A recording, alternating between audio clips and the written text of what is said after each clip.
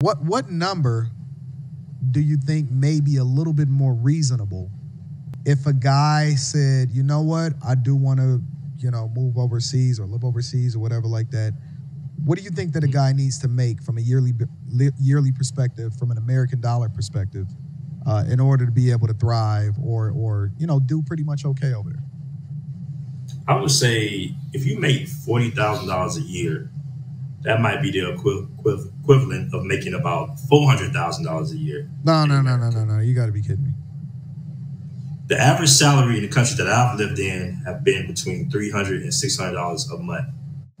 Uh, so if a guy I went to makes, the city of Bangkok, because because they shame guys over here that make forty. They say the average black man in America, according to the numbers, is making forty seven thousand dollars a year.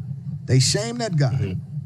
If a guy makes forty seven thousand dollars a year here, and he has no mm-hmm. expenses here, and let's just say he works remotely and he lives overseas, what's the like? What's the equivalent over there?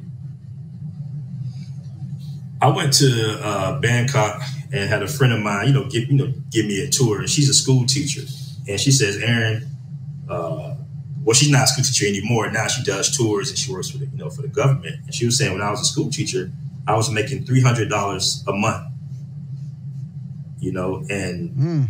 Bangkok is is not super expensive. You can get a really nice apartment out there for less than thousand dollars a month, and it look like you living in Manhattan. You know, a nice little sky rise apartment.